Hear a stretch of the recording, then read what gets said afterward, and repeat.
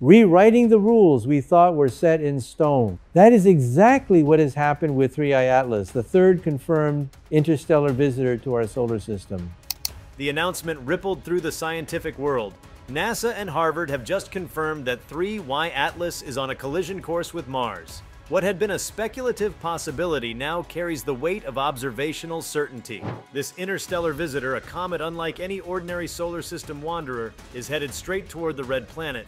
It's an event of staggering implications, one that opens an eerie and powerful new chapter in planetary science. Before we start, smash the like and subscribe buttons for more updates. It began as a whisper in the data, small anomalies in orbital predictions, slight deviations that didn't quite square with prior models. Observatories across Earth and space began to focus in, refining trajectories, timing occultations, and gathering every spectroscopic clue they could about 3I Atlas. Gradually, the path sharpened, the margins of error fell away, and the inescapable conclusion emerged. Unless something intervenes, 3I Atlas will strike Mars. The object itself is already fascinating. As the third confirmed interstellar body to traverse our solar system, following Oumuamua and 2I Borisov, 3I Atlas carries in its orbit the heritage of a far-flung cosmic journey. It plunges into our system with exceptional speed, nearly 58 kilometers per s relative to the Sun, and with a hyperbolic trajectory that ensures it is not gravitationally bound here. Its inclination is modestly tilted from the ecliptic plane, and in its path it crosses the orbital domain of Mars, though until now analysts held that it would pass at a safe distance. But the new data show that safe distance may no longer be the operative phrase.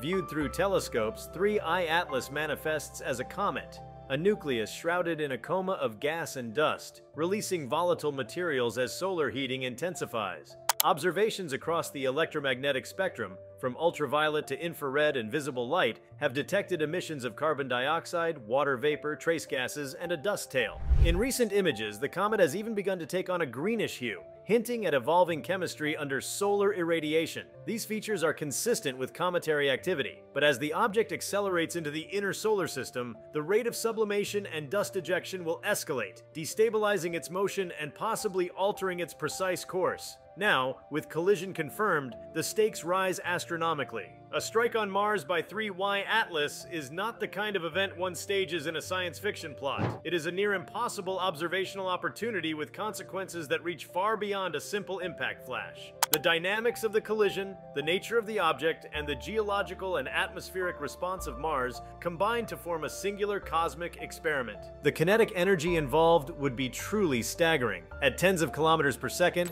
the impact would release energy orders of magnitude beyond even the most powerful human man-made explosions. For an object of even modest size, say a few kilometers, the drastic release of energy would excavate a huge crater, inject vast amounts of debris into Martian space, and generate shocks reverberating deep beneath the surface. The region of impact could experience melting, vaporization of both projectile and target rock, and possibly transient vapor plumes into the thin atmosphere. Even Mars's lower gravity and thin air cannot fully absorb or dampen such enormous energy. The disturbance would propagate outward in waves of seismic, thermal, and atmospheric disruption. Because 3I Atlas is interstellar, its composition might deviate in subtle or dramatic ways from local solar system bodies. It might carry exotic isotopic ratios, volatile ices rarely seen near Mars, or chemical markers formed in a very different environment. That means the impactor is not just a cosmic bullet, it is a messenger. Whatever survives or is dispersed in the collision, whether vaporized or fragmented, becomes prime material for analysis. Ejecta would expand outward, potentially reaching or interacting with Martian satellites, or even injecting traces into Mars's tenuous exosphere. Instruments orbiting Mars, or even missions en route, could sample these fragments, measuring composition, dynamics, and interaction with solar wind. The collision also offers a chance to test planetary defense science in a new regime. Every mission to deflect or observe near-Earth objects builds toward understanding how objects behave under stress. Here, by direct collision, nature offers one extreme case of hypervelocity collision between a truly alien object and a planetary body.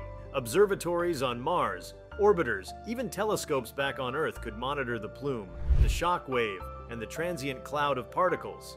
The interaction between plume material and the Martian atmosphere might reveal unexpected chemistry or ionization phenomena, an ephemeral sheath of plasma, a temporary glow in the sky as dust and gas expand. In short, the collision becomes a live testbed for models of impact physics in unfamiliar regimes. One of the most profound implications lies in the possible origin of 3I Atlas itself. Because it is interstellar, it likely came from a star system far beyond, possibly from the thick disk of the Milky Way at cosmic noon, a formative era of star and planet formation billions of years ago. If we can analyze fragments or remnants from the Martian impact, we might glimpse the building blocks of alien planetary systems, compare isotopic ratios, volatile inventories, and composite minerals, holding a mirror to our own solar system's early days. In that sense, Mars becomes an inadvertent cosmic collection dish. A collision of this magnitude also reshapes our understanding of the risk landscape in the solar system. Until now, most focus has centered on Earth-crossing asteroids and comets. But here is a case where an interstellar object, not gravitationally bound to the Sun, nevertheless intrudes deeply, crossing planets and striking one. It forces us to expand our threat models and reassess how we track and characterize interstellar interlopers. Perhaps we must cultivate observatories specifically tuned to detect hyperbolic trajectories earlier, with higher cadence, better sensitivity, and predictive capabilities that allow for intervention or preparation. Though Earth is safe in this particular scenario, 3I Atlas's orbit does not bring it close to Earth, so no direct danger looms. The lessons are global. If an object of similar origin or trajectory were slightly deflected, it might target Earth in another case. The fact that interstellar comets can penetrate deeply and strike planets even in a well-observed system reframes the cosmic hazard environment. It underlines the need for vigilant observation across the entire celestial sphere, not just near-Earth corridors. Within the scientific community, the collision is already galvanizing mission proposals. Could a flyby or interceptor be positioned in time to catch ejecta? Could Mars orbiters pivot instruments to monitor the moment of impact in detail? Some older spacecraft may already be in advantageous positions. As the collision time approaches, mission operations teams will scramble to optimize data capture high-speed cameras, spectrometers, dust detectors, plasma analyzers, all angled toward the impact zone, all ready to seize fleeting signals that last minutes, hours, days.